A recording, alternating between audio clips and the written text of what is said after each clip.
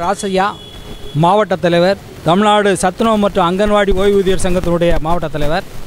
தோழர்களே இன்றைக்கு பொங்கல் போனஸ் அறிவிக்கப்பட்டிருக்கிறது. ஆனால் எங்களுக்கு இந்த பொங்கல் போனஸ் ஓய்வூதியாயில் எங்களுக்கு பொங்கல் போனஸ் அறிவிக்கப்படவில்லை.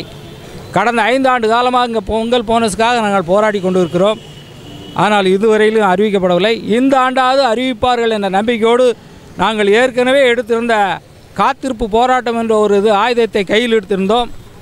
ஆனால் ஒரு நம்பிக்கை இந்த அரசாங்கம் நமக்கு ஓய்வூதியம் வழங்கிவிடும் என்ற நம்பிக்கையின் அடிப்படையில் அதை கைவிட்டு தர்ணாவாக நடத்துகின்றோம்.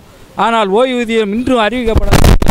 ஆகவே இந்த ஓய்வூதியத்தையும் பொங்கல் போனஸையும் எடுத்துக்கொண்டு வரக்கூடிய காலத்தில் இன்றைய தினமே எங்களுடைய மாநில மையம் ஒரு முடிவு எடுத்து அடுத்து தோழர் சொன்ன மாதிரி அந்த பொங்கல் திருநாளுக்கு முன்பாகவோ அது அதற்கு அடுத்தோ வரக்கூடிய காலங்களில் ஒரு மீண்ட பெரிய காத்திருப்பு போராட்டம் நடத்தி அந்த பொங்கல் போனஸை பெற்று தீர்வது அதே மாதிரி குறைந்தபட்ச ஓய்வூதியம் ஒன்பதாயிரம் தீர் பெற வேண்டும் என்ற கோரிக்கையும் வலியுறுத்தி அடுத்த கட்ட நடவடிக்கைக்கு செல்வோம் என்பதை தெரிவித்துக்கொண்டு வாய்ப்புக்கு நன்றி உரிய நன்றி